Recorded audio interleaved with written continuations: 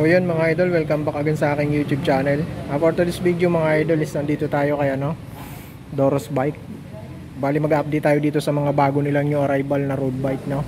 Yun ipapakita ko sa inyo ngayon. Kasi yung mga nakarang vlog ko rito, may vlog naman ako sa mga ibang bikes nila.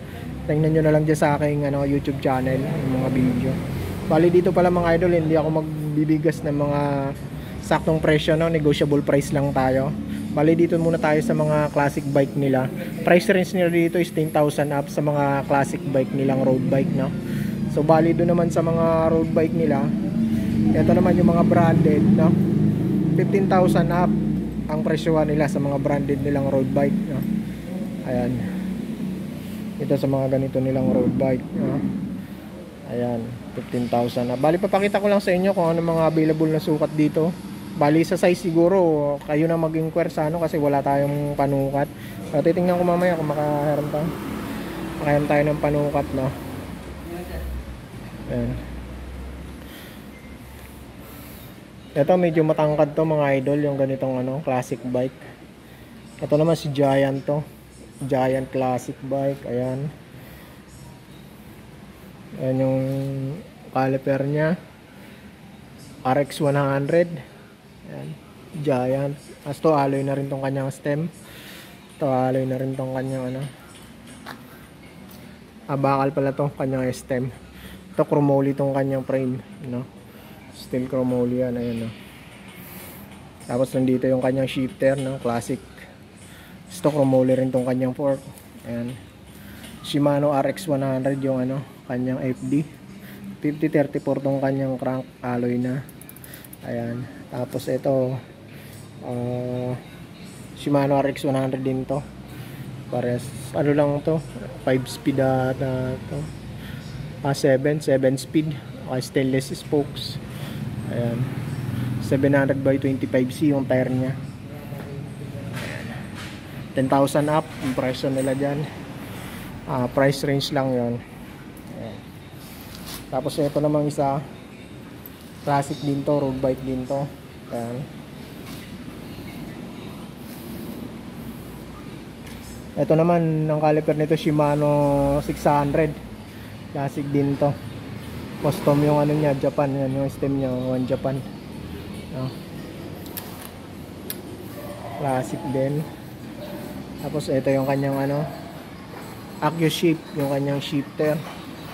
Ayan tapos ito Santor tong kanyang RD. Tapos 1, 2, 3, 4, 5, 6 speed lang to. Stainless spokes. 700 by 23C yung kanyang tire. Ah, 28C yung kanyang tire no. Ayan yung kanyang crank 2 by crank 5034. Shimano Santor yung kanyang FD. Ayan yung kanyang mga ano naka-impose yan yung kanyang mga uh, frame ay classic yan. Ayun naka ano pa to? Square type. Ay square type no no cell bearing. Yun yung kanyang saddle no? Goods pa. Pero luma lang siya pero goods pa. Ito namang isa. Uh, classic din to. Tama ba? Classic din siya. Ara, hindi hindi. Road bike lang siya mga idol no? Road bike hindi siya classic. Pero ang frame nito is chromoly din steel chromoly rin. Ayan. Shimano Torne yung kanyang ano, FD ayan. ito mga pang mga small to medium pwede to. Yung sukat ng ganitong frame. Ayan. ito ganun din naman to. Mga small to medium lang yan. Ayun yung medium malaki ng konti yung frame. Medium to large yun. Pwede yun yung ganung frame. Ito naman kumuli rin to. Ganitong road bike Kla steel chromola rin. Shimano na yung hub nito. Ayan. Shimano na siya ng hub. Uh, Shimano Tourney yung kanyang ano STI tapos Shimano Tourney rin yung kanyang RD ayan. 7 speed yan. Yan yung saddle nya so ito naman si Angkor din to. Angkor ito medium to large sukat to sa mga medium to large kasya to. Approx lang tayo no mga idol. Ito nakakantilever ng Tecro to. Ayan. Tapos yan yung ano niya. Naka dual ng brake to. No? dual brake. Ah, ang ginamit dito Shimano Sora. Ayan. sa kanya STI ayan yung frame nya may battle cage na siyang kasama. 2 by crank. Tapos Sora rin yung kanyang ano RD ayan anchor Video na tayo. Ha? Video na tayo. ano Sige, okay yan. Ako na. Oh. Mabilisan lang to. Tapos ito naman, na si Miyat. Miyata. Miyata ba tama, no? Kayo? Miyata ba inano mo dito? Ha? Miyata. Ay, hindi ko na ano yung Miyata. Miyata. Miyata siya. Tapos yan, Clarice. Shimano Clarice yung kanyang crank. Tapos FD niya, Clarice. Tapos Shimano Clarice din yung ano niya. Ah, RD. Tapos 1, 2, 3, 4, 5, 6, 7, 8. Na 8 speed to. Ayan, Miyata rin yung rim niya. Alloy na yan. Tapos Bridgestone yung kanyang ano, battle cage. Ayan. Tapos zoom yung kanyang stem pati yung kanyang drop bar zoom din. Yan price range niyan 10,000 up. So ito naman sa mga ganitong road bike nila ayan meron silang momentum dyan. Ito naman ah, road bike to. Ito naman ng mga ano dito sa mga ganitong brand ng bike nila is 10,000 up. Yung ano presyo ng kanilang ano. Ah, ano lang yun price range lang yun mga idol no sa mga ganitong bike nila. 10,000 up. Ah, 15,000 up pala mga idol no? Meron silang ano dito momentum tapos meron silang ano dito ito ah, Zenos Zenos Hanover. Tapos ito naman si Zunizer ayan. Pro wheel ayan ito Shimano Tourney rin yung ano niya pro wheel yung crank niya. Ito Shimano Clarice yung kanyang RD ayan. 2 by crank din. STI na rin yan Shimano Tourney STI ito Shimano Clarice ang STI niya. Tapos ito naman momentum Shimano Tourney na rin STI niya. Ito mga size nito mga medium to large ganun lang naman mga sukat nito. Sa mga road bike na to. No? ayan momentum tapos ito naman Giant OCR si Giant OCR 3,300 ito Alox. Ah, naka Claris din to. Shimano Claris din yung ano niya. Ah, RD niya tapos ang STI niya ganun din naka Claris din. Ayan. Tapos ito si Trick meron silang Trick na ano dito. 1,000 ayan tapos ito naman si Tri-Ace. Oh, ba itong puti na to. Ayan. Ayan, mga Shimano parts naman lahat na yan. Yung mga ganyang road bike nila. Ayan. Ito mga folding bike nila. Meron din mga folding bike dito. 10,000 up yung ano, price range dito. Ayan, meron silang ano dito. Dehon. 4 Dehon na to. Ayan. Yan yung mga Dehon nila dito. Ayan. Mga alloy na yan, aluminum. Mga aluminum alloy na yan. Ayan. Mano turning. Ayan. Yung kanyang RD. Sa iba, 9 series. Ayan, yung mga ano nila. Ayan, saddle nila. Mga goods pa naman mga saddle niyan. Ayan. Tapos ito para meron silang anchor dito na road bike, no? Ito ang price na ito is 20,000. Negotiable price yan. Panariser yung tire niya, 700 by 23C. Shimano 105 yung RD. Stainless spokes, alloy rim, ang Volver. Uh, tapos 105 yung ano niya. Ah, 105 yung kanyang FD. Naka 2 by crank to, 5034. 105 din. Ayan. STI na rin yan, Shimano na rin yan. Di lang natin makita mga idol no, nasa taas. Sukat na ito, medium to large yan. Pwede yan, mga ganyang sukat niyan. No? Lagay ko na lang dyan sa ano natin, screen natin pag makuha ko yung mga sukat na ito. Ayan. Ayan yung sukat niya. Ayan. So ito naman yung Merida na. Ito pang malaking tao to yung Merida na to. Pang malaking tao siya.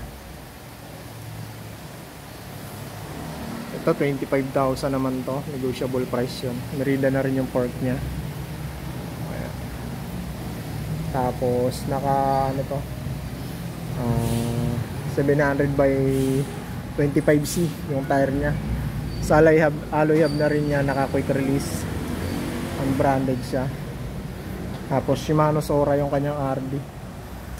Ito FAC, FAC itong kanyang crank. Oh, FAC. Shimano na rin yan. Yung kanyang FD. Mereda na rin yung port niya. Ayan. Lang, di lang natin makita na sa taas. No? Pero Shimano na rin yan mga idol. STI niya. Ayan. So ito marami pa silang mga hybrid dito. Sa mga price range, price range ng hybrid nila sa mga steel. No? Mga naglalaro yan ng 4,000 up sa mga steel.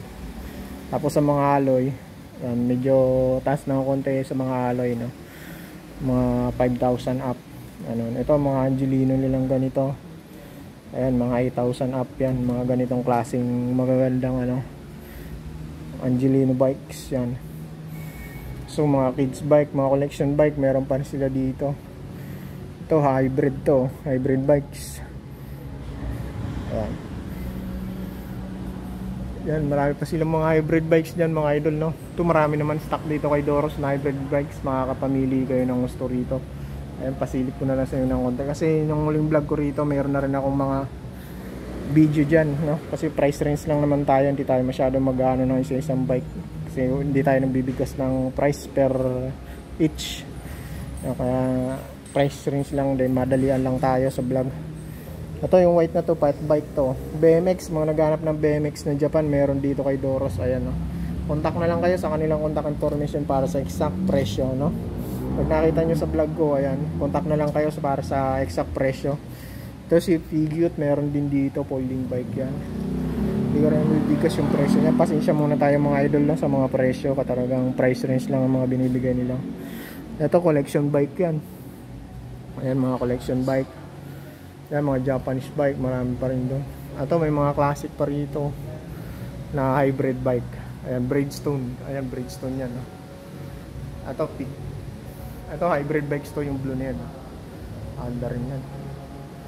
Classic yan. Mga classic na hybrid bikes yan. Yung mga nakasabit yan sa taas. Mga presyohan nila yan is mga 8,000 up yan. Ayan. Ito dupil ganger. Mga dupil ganger. Ayan. Sa mga menebelo pala yan. Meron sila mga men Ito may dehon pa pala rito. Ito dehon. Ito naman alloy ito. Ay hindi bakal, bakal pala to. Mga bakal nilang Deon siguro mga ano to nasa 7,000 na. Uh, ganun lang yun, 7,000.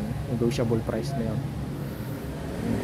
O so ito mga Deon nila, mga naghanap ng mga mga menebelo. Ayan, mga naghanap ng menebelo dyan. Ayan, marami dyan nakasabit. No? Ayan yung mga menebolo nilang available. Pakita ko na lang din sa inyo. Ayan yung mga available nilang may So sa mga Japanese bike, andun marami rin sila mga Japanese bike. No? Pili na lang kayo, pasyal na lang kayo dito. Ayan pa rin yung mga kids bike. No? Ayan. Ito maraming hybrid bikes dito. Sawa kayo ng hybrid bikes dito. Ito mga hybrid bikes nila. No? Ang dami nyo pagpipilian dito. Hindi kayo mawawalan dito pag mamili kayo. Ayan. Ayan yung mga hybrid bikes na available nila dito. Andi sa dulo, yan. Ayan, Japan, mga folding bike nila dyan, price range yan, 4,000. Mga ganyan nilang folding bikes. No? Ito, mga size 26 nila, 3,000 lang naman to mga 3,000 up. Size 26 nilang ano, bike. Ayan, mga ganyan. Ayan, mga folding bikes.